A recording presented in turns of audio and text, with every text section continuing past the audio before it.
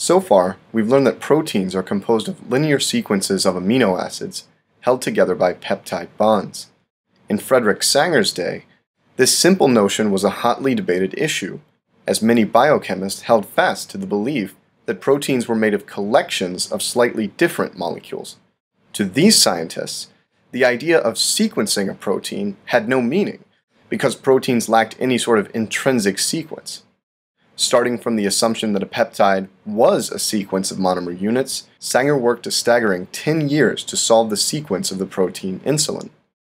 Let's take a moment to examine the problem of peptide sequencing before diving into the solutions offered by Sanger and his contemporaries.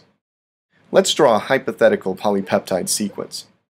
I'll label the N and C termini to denote the free amino group on one end of the chain and the free carboxylic acid group on the other end. Our goal is to identify the order of amino acids within this hypothetical peptide from the N terminus to the C terminus. What makes the determination of this sequence so difficult? The first thing to notice is that our hypothetical polypeptide is directional. If we hope to apply organic chemistry to the solution of this problem, we'll need to use reactions that deal selectively with either an amino group or a carboxylic acid group.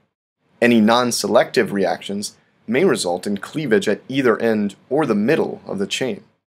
Such events would make it impossible for us to determine the peptide sequence with certainty.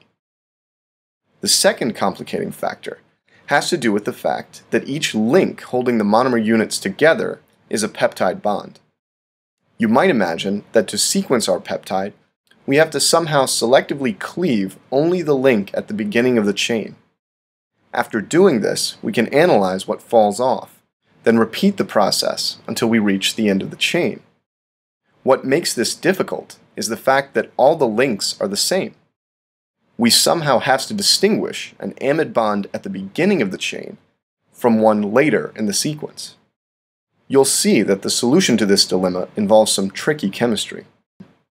Advances in peptide chemistry were, like many scientific discoveries, incremental. In the upcoming series of webcasts, we'll examine ways to determine both protein composition and sequence.